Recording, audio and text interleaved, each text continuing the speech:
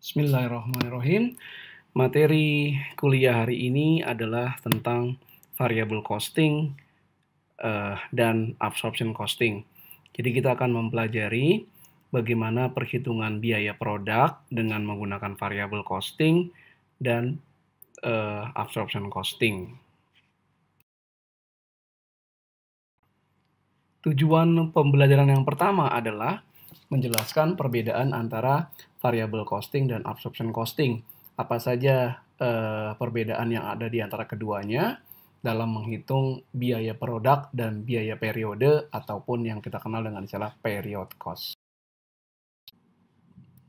Baik, variable costing. Jadi kalau kita bagi biaya, ada biaya produk dan ada biaya period atau uh, biaya periode atau period cost ada bahan baku langsung atau direct materials, ada tenaga kerja langsung atau direct labors, ada biaya overhead produksi variabel atau variable factory overhead, ada biaya overhead produksi tetap atau fixed factory overhead, ada biaya atau beban penjualan dan administrasi variabel atau variable selling and administration cost, dan ada biaya penjualan dan administrasi tetap atau uh, uh, fixed uh, selling and administration cost.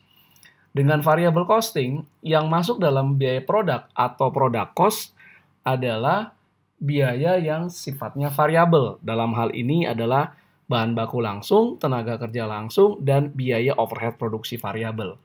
Jadi bahan baku langsung, tenaga kerja langsung, dan biaya overhead produksi variabel itu sebelum ketika terjadi pengeluaran dikapitalisasi dalam biaya produk atau inventory persediaan. Setelah dijual, baru akan menjadi semacam cost of goods sold. Sedangkan absorption costing yang masuk dalam perhitungan biaya produk atau produk cost dalam absorption costing adalah bahan baku langsung, tenaga kerja langsung, biaya overhead produksi variabel, dan biaya overhead produksi tetap. Jadi perbedaan yang pertama adalah dalam biaya produk, di variable costing tidak menyertakan biaya overhead produksi tetap. Di absorption costing itu menyerta, menyertakan biaya overhead produksi tetap. Kemudian period cost atau biaya yang dibebankan saat terjadinya pengeluaran di satu periode.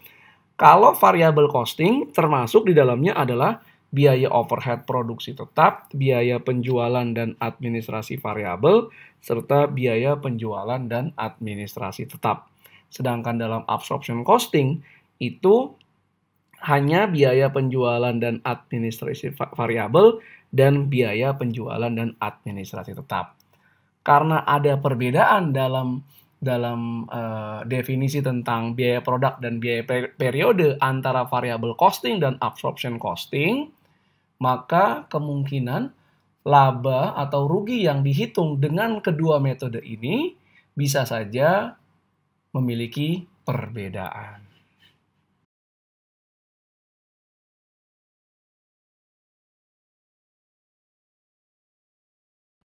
Oke, ini adalah contoh satu.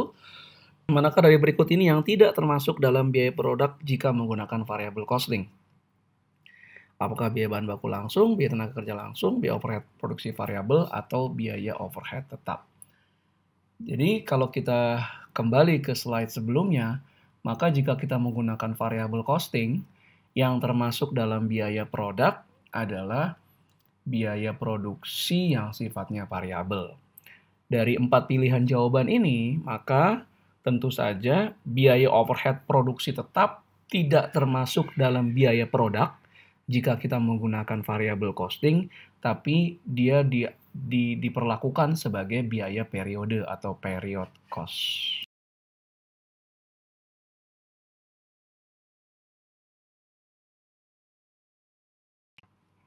Oke, ini jawabannya. Jadi jawabannya adalah D atau delta.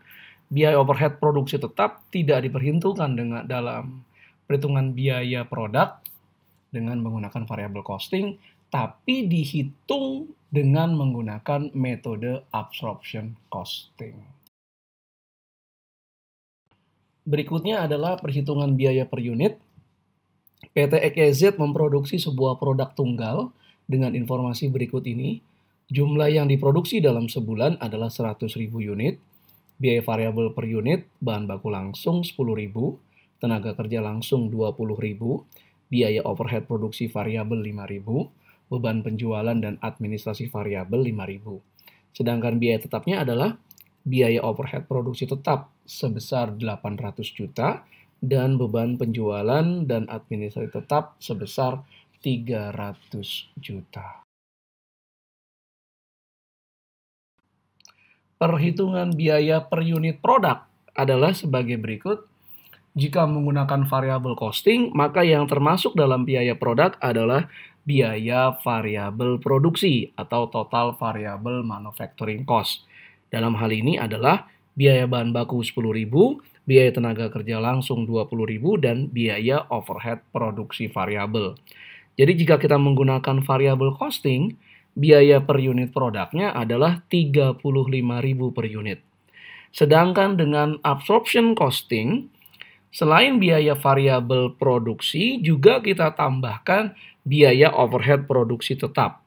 Dalam soal kita dapat bahwa total biaya overhead produksi tetap adalah 800 juta untuk 100.000 unit yang diproduksi. Berarti biaya overhead produksi tetap adalah 800 juta dibagi dengan 100 ribu per unit, kita peroleh 8 ribu per unit. Maka total biaya produk per unit untuk absorption costing adalah 43 ribu. Jadi kita, jika kita lihat biaya per unit produk dalam variabel costing dan absorption costing, perbedaannya hanya di absorption costing kita mengikutsertakan atau juga memasukkan biaya overhead produksi tetap dalam menghitung biaya per unit produk.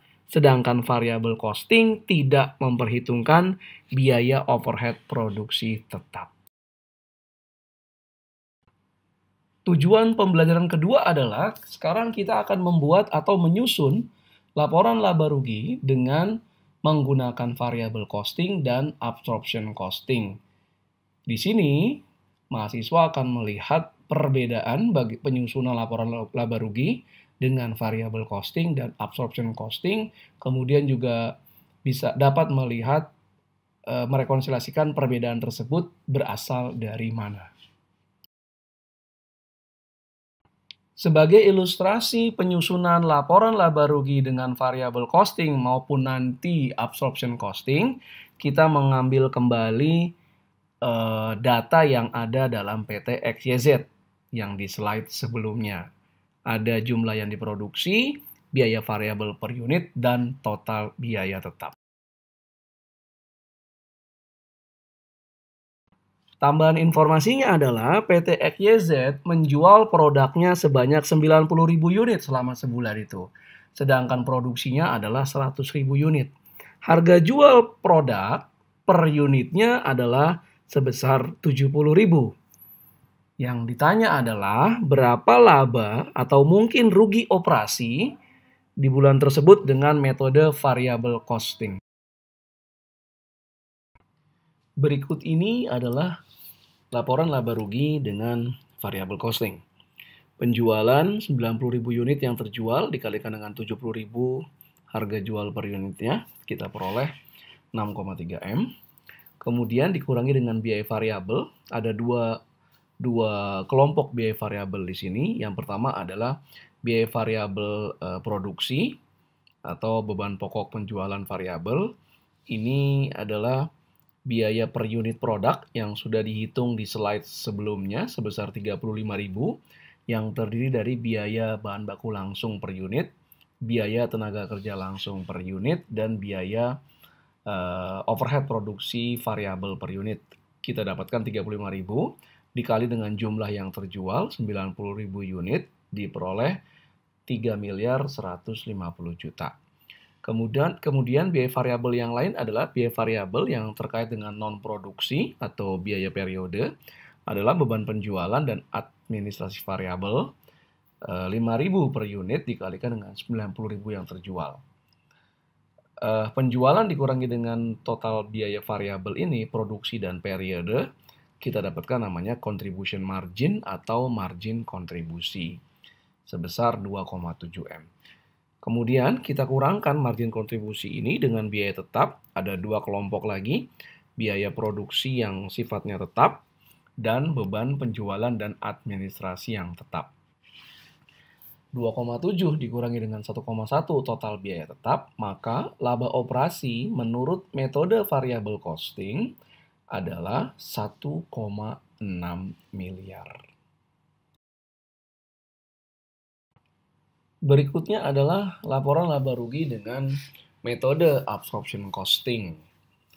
Pertama, seperti dengan variable costing, penjualan sama 90.000 unit dikalikan dengan harga per unit 70.000 6,3 M.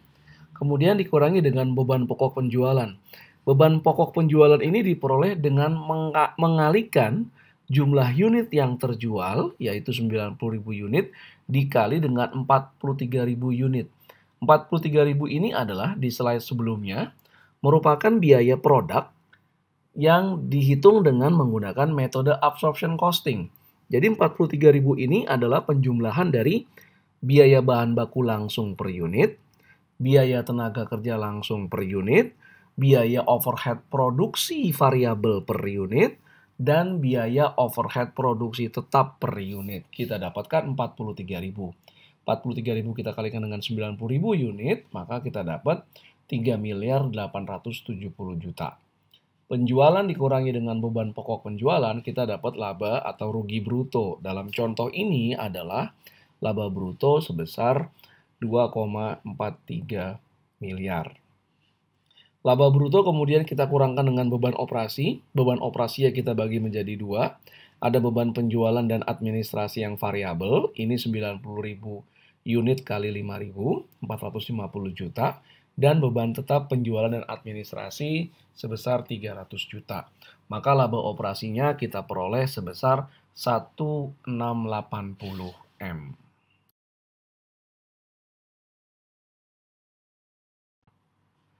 Dari laporan laba rugi yang disusun dengan metode variable costing dan metode absorption costing, kita mendapati bahwa laba operasi menurut variable costing adalah 1,6 miliar.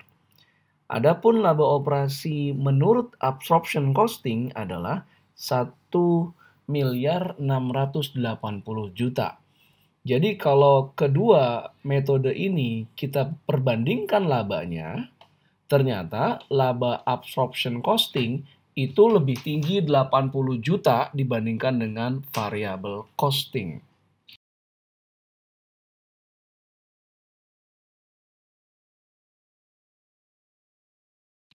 Sekarang kita masuk uh, ke slide yang akan memperlihatkan tentang uh, perbedaan tersebut dapat direkonsiliasikan dengan cara apa? Pertama kita lihat bahwa jumlah yang diproduksi dalam sebulan adalah 100.000 unit, sedangkan jumlah yang terjual adalah 90.000 unit. Berarti antara jumlah yang diproduksi itu tidak sama dengan jumlah yang terjual. Terdapat selisih sebesar 10.000 unit.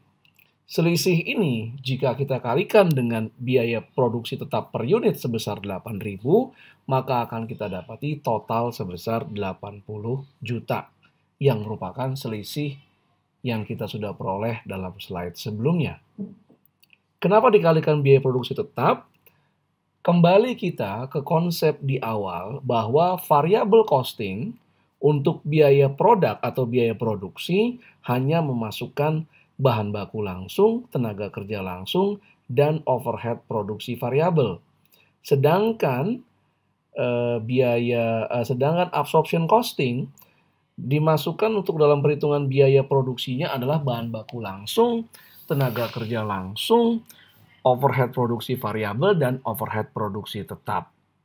Mudahnya, dalam persediaan akhir yang 10.000 unit dengan absorption costing ada 8.000 unit 80 juta yang merupakan biaya tetap, biaya produksi tetap yang tidak dibebankan sebagai beban pokok penjualan karena belum terjual, masih dikapitalisasi di persediaan akhir barang jadi. Sedangkan dalam variable costing, seluruh biaya overhead produksi tetap langsung dibebankan saat terjadinya pengeluaran di bulan tersebut. Hal ini menyebabkan persediaan akhir barang jadi menurut variable costing nilainya lebih kecil 80 juta dibandingkan dengan biaya uh, persediaan akhir barang jadi dengan absorption costing. Hal ini berimbas kepada beban pokok penjualan sebagaimana kita sudah pelajari, beban pokok penjualan adalah uh, nilai persediaan akhir, persediaan awal barang jadi ditambah total biaya produksi dikurangi dengan persediaan akhir barang jadi. Persediaan akhir barang jadi dalam absorption costing lebih tinggi dalam hal ini dibandingkan dengan variable costing yang menyebabkan cost of goods sold-nya lebih rendah dibandingkan dengan variable costing. Karena COGS-nya lebih rendah, maka laba yang diperoleh dengan menggunakan metode absorption costing itu menjadi lebih besar. Slide berikut ini memperlihatkan perbedaan laba operasi antara metode variable costing dengan absorption costing. Jika jumlah yang diproduksi lebih besar daripada jumlah yang terjual, maka laba dengan absorption costing lebih tinggi atau laba dengan variable costing lebih rendah dibandingkan absorption costing. Namun, jika jumlah yang diproduksi kurang dari jumlah yang dijual, laba operasi yang disusun dengan metode absorption costing ini lebih rendah dibandingkan laba operasi yang dihitung dengan metode variable costing. Jika jumlah yang diproduksi sama dengan jumlah yang terjual, maka laba absorption costing akan sama dengan laba variable costing. Di contoh kita sebelumnya, jumlah yang diproduksi 100.000, sedangkan jumlah yang terjual adalah 90.000. Berarti memang laba dengan menggunakan absorption costing itu lebih tinggi dilaporkan dibandingkan dengan laba dengan metode variable costing.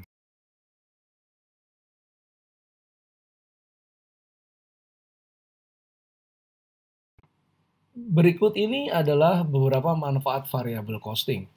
Yang pertama, dengan menggunakan pelaporan dalam menggunakan variable costing akan memudahkan penerapan CPV analysis di, di dalam perusahaan. Dalam PPT saya sebelumnya terkait dengan pembahasan CVP analysis, CVP analysis dapat digunakan oleh perusahaan untuk menentukan berapa jumlah yang harus terjual agar mencapai titik impas atau berapa yang harus terjual agar mencapai target laba tertentu.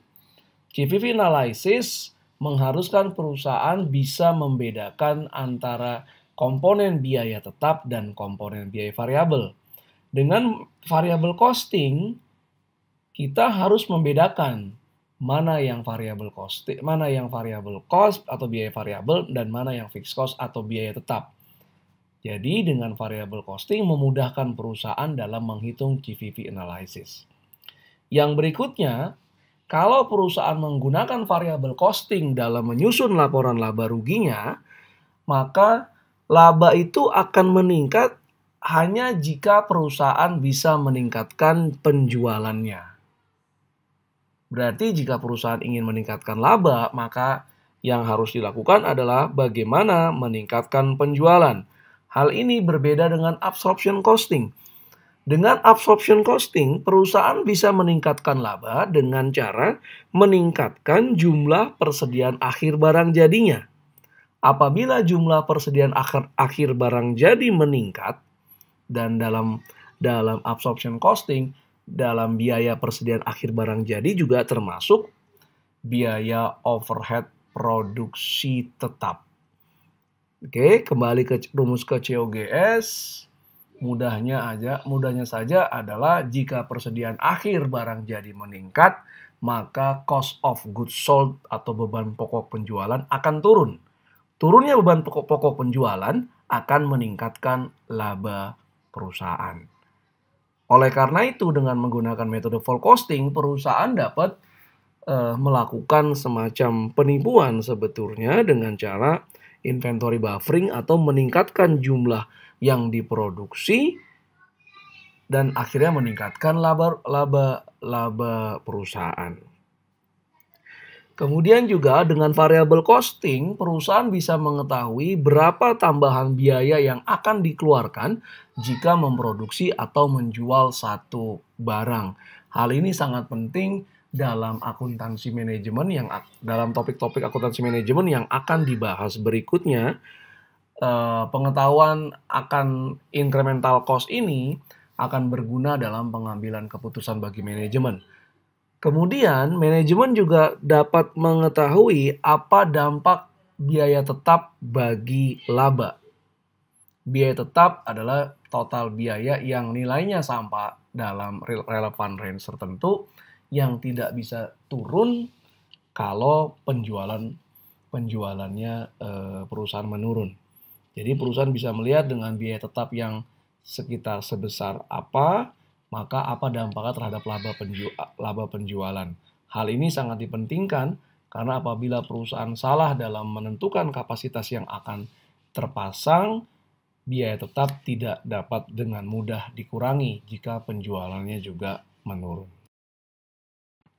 Demikian presentasi materi variable costing versus absorption costing yang saya berikan dalam PPT ini. Latihan-latihan terkait dengan topik ini dapat kalian temukan pada e-learning yang ada di penerbit Salemba. Kunjungi e-learning.penerbitsalemba.com slash akuntansi uh, slash akuntansi desk management. Oke, okay? terima kasih.